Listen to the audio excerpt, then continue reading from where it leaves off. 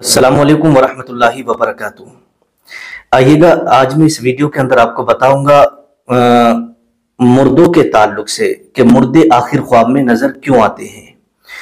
और अगर ख्वाब में नज़र आए और आपसे कुछ कहें तो उसका मतलब क्या होता है, उसकी ताबीरें क्या होती हैं। इसके ताल्लुक से कुछ बातें मैं आज इस वीडियो के अंदर आपको बताने के लिए जा रहा हूँ। बड़े ध्यान और बड़ी तवज्जो से आपको सुनना है। देखिएगा पहली बात तो मैं आपके सामने एक हदीस पाक रखूँ कि क्या वाकई रूहें मरने के बाद अपने घरों पर आती हैं? इसकी क्या हकीकत है? इसकी क्या सच्चाई है? और लोगों को जो ख्वाब में नज़र आते हैं, मुर्दे, उसकी ताबीरें क्या होती हैं? वो मैं बाद में बताऊँगा, पहले आप ये हदीस सुन लें। देखिएगा, हज़रत इबन अब्बास रज़ी अल्लाह अनहु से मरवी है कि जब ईद या जुमा या आशूरे का दिन या शब बारात होती है तो अमवात की रूहें, यानी मरने वालों की रूहें अपने घरों के दरवाजों पर आकर खड़ी हो जाती हैं। और कहती हैं, है कोई हमें याद करने वाला, ए मेरे अजीजों, ए मेरे घर वालों ए मेरे बच्चों, ए मेरे रिश्तेदारों, है कोई जो हम पर रहम करे, है कोई जो हमारे लिए इसाले सवाब करे, है कोई जो हमारे लिए दुआ करे, इस तरीके से रूहें आकर दरवाजों पर खड़ी होकर के ये इल्तिजा करती हैं और ये आपसे फरियाद करती हैं। और बाकी तो देखिएगा रूह के लिए बिल्कुल जो मोमिन की रूह है, वो आज़ाद है, जब चाहे, जहाँ चाहे, वहाँ जा सकती हैं, कभी भी आ सकती हैं। लेकिन खासकर ईद ईद के दिन और जुमे के दिन, आशूरे के दिन, शब बारात वाली रात में रूहें खासकर घरों पर ज़रूर आती हैं। और अगर आपने, जैसे मान लीजिएगा, आपने इसाले सवाब किया, आपने खाना बनवाया, कुछ भी बनवाया फातिया खानी आपने की तो उनको उसका सवाब मिलता है।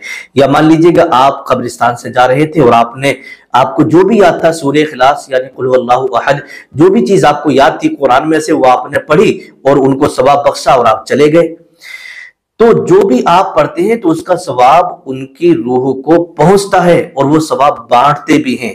देखिएगा, शरह सुदूर के अंदर एक रिवायत हमें मिलती है कि हज़रत हम्माद मक्की रहमतुल्लाह ताला फरमाते हैं कि मैं मक्का मुकर्रमा के एक कब्रिस्तान में सो गया। तो क्या देखता हूँ? उन्होंने ख्वाब में देखा, क्या देखता हूँ कि कब्र वाले हर हल्का दर हल्का खड़े हैं। और मैंने उनसे पूछा, क्या कयामत कायम हो गई है? तो उन्होंने कहा, नहीं, बात दरअसल ये है कि एक मुसलमान यहाँ से गुजरा था और उसने सूर्य इखलास पढ़कर हमको इसाले सवाब किया तो हम वो सवाब एक साल से तकसीम कर रहे हैं। वो सवाब हम एक साल से तकसीम कर रहे हैं। तो पता चला कि जो भी आप इसाले सवाब करते हैं तो वो मुर्दे उसे आपस में तकसीम करते हैं। और इसी तरीके से देखिएगा अल्लाह के रसूल सल्लल्लाहु अलैहि वसल्लम की बारगाह में हज़रत साद बिन उबादा रज़ी अल्लाह हाजिर हुए, अर्ज़ करने लगे, या रसूल सल्लल्लाहु अलैहि वसल्लम, मेरी माँ इंतकाल कर गई हैं और मैं उनकी तरफ़ से कुछ सदका करना चाहता हूँ तो कौन सा सदका अफजल रहेगा? तो हुजूर सल्लल्लाहु अलैहि वसल्लम ने इरशाद फरमाया कि, तुम उनके लिए पानी का कुआ खुदवा दो। तो जब पानी का कुआ खुदवा दिया और उसके उस, और उसके लिए कह दिया कि ये उम्मे साद के लिए है। ये कुआ साद बिन उबादा की माँ के लिए है। तो उनके नाम से वो सदका हो गया, जो सबसे बेहतर सदका है। तो मेरे प्यारे इस्लामी भाइयों तो मालूम हुआ कि मुर्दों को इसाले सवाब की बहुत ज़्यादा सख्त ज़रूरत होती है। तो अब अगर आपको ख्वाब में मुर्दे नज़र आते हैं तो उसका मतलब क्या होता है, वो आप इस वीडियो के अंदर बड़े ध्यान से सुनिएगा। देखिएगा, अगर आपने ख्वाब में ये देखा, किसी मरे हुए इंसान को कि वो दुनिया में ज़िंदगी गुजार रहा है तो इसका मतलब है कि तुम्हें कोई खुशी बहुत जल्दी मिलने वाली है, क्योंकि वो इंसान मर चुका था। फिर उसे आप ऐसा देख रहे हैं ख्वाब में कि वो दुनिया में ही ज़िंदगी गुजार रहा है। तो इसकी ताबीर ये निकलती है, हज़रत अल्लामा इबन सीरीन रहमत ताली अपनी किताब के अंदर लिखते हैं कि अगर किसी ने ख्वाब में देखा कि वो मरा हुआ इंसान फिर से दुनिया में ज़िंदगी गुजार रहा है तो इसका मतलब है कि तुम्हें बहुत जल्दी कोई खुशी मिलने वाली है। इसी तरीके से किसी ने ख्वाब में देखा, देखने वाले ने किसी मुर्दे को ख्वाब में देखा, पूछा कि भाई तुम मरे नहीं हो? तो मुर्दे ने जवाब दिया, नहीं, मैं तो ज़िंदा हूँ, जबकि वो मर चुका है। तो मुर्दे ने कहा कि मैं ज़िंदा हूँ तो इसका मतलब यह होता है कि मरने वाले का खुदा के यहाँ पर हाल अच्छा है। मरने वाले का खुदा के यहाँ पर हाल अच्छा है। इसी तरीके से ख्वाब में ये देखा कि मरे हुए इंसान को किसी ने देखा कि वो बहुत ज़्यादा गुस्से में है। आपका कोई अज़ीज़ खत्म हो गया, आपके घर में से किसी का इंतकाल हुआ और आपको ख्वाब में आया कि वो बहुत ज़्यादा गुस्से में है। तो इसका मतलब ये होता है कि उसने अपने वारिसों को कोई वसीयत की थी जो घर वालों ने पूरी नहीं की। ज़ाहिर सी बात है, जब इंसान ज़िंदा होता है तो वसीयत करता है कि भाई, मेरे बाद मरने के आपको ये काम करना होगा, मेरे बाद मरने के आपको ये काम करना होगा, और औलाद ने उस तरफ़ ध्यान ही नहीं दिया। तो फिर रूह ख्वाब में आती है, वो मुर्दा ख्वाब में आता है और ख्वाब में आकर के कहता है मतलब आपको गुस्से में दिखाई देता आपसे बोलता नहीं है। और आप चाहते कि हमसे बात करें, लेकिन वो बोला, नहीं, गुस्से में है बहुत ज़्यादा। तो इसका मतलब ये होता है कि आपसे वो गुस्सा है, नाराज़ है, इसलिए कि उसने जो वसीयत आपसे की थी ना, आप भूल गए हैं, उसकी वसीयत को आपने पूरा नहीं किया है, इसलिए वो मुर्दा आपसे गुस्से में है। अगर किसी ने ख्वाब में मरे हुए इंसान को देखा कि वो बहुत ज़्यादा हँसी खुशी है, मुस्कुरा रहा है।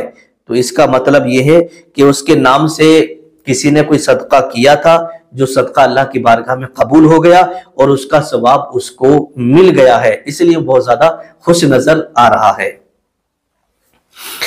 इसी तरीके से किसी शख्स ने मुर्दे को ख्वाब में देखा कि वो बहुत ज़्यादा अच्छे लिबास में है। अच्छे लिबास में देखा तो इसका मतलब ये होता है कि उसका अंजाम अल्लाह रब्बुल इज़्ज़त के यहाँ पर अच्छा हुआ है।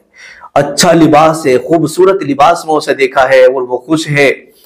तो इसका मतलब ये होता है कि अल्लाह तबारा के अल्लाह तबारा का बताला कि यहाँ पर उसका हाल अच्छा है। इसी तरीके से किसी शख्स ने ख्वाब में ये देखा कि मेला कुचेला लिबास पहना हुआ है, मुर्दे का लिबास बहुत ज़्यादा गंदा है और वो गमजदा नज़र आ रहा है।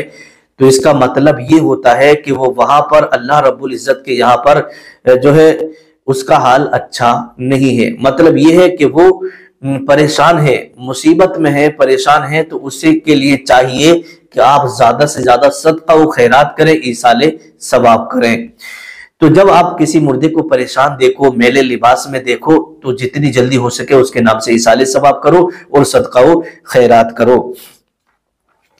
इसी तरीके से किसी शख्स ने देखा कि वो मुर्दा जो है बहुत ज़्यादा खुश है अच्छा लिबास है और बहुत ज़्यादा खुश नज़र आ रहा है।